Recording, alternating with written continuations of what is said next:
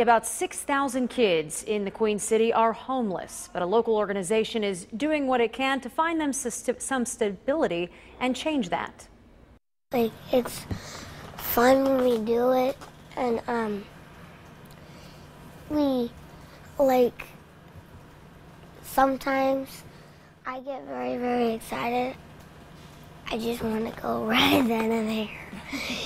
Seven year old Trinity knows where she'll be every day for the next two months. It's at the Yellow Bus Camp. For this little girl, the consistency of having a place to stay is more than she's used to. That's because she's homeless.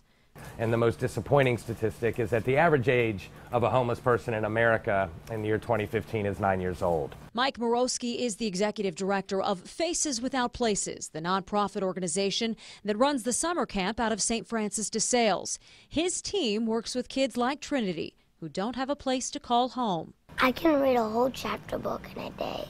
It's the little things that keep these kids going.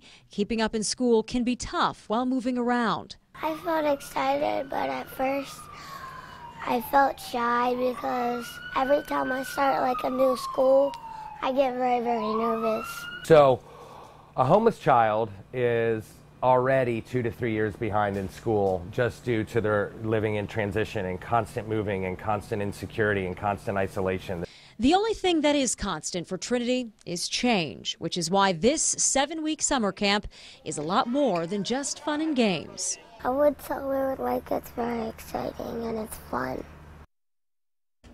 And to learn more about experiencing homelessness, head to our website, WCPO.com. We have extensive coverage of this issue and what is being done to stop it.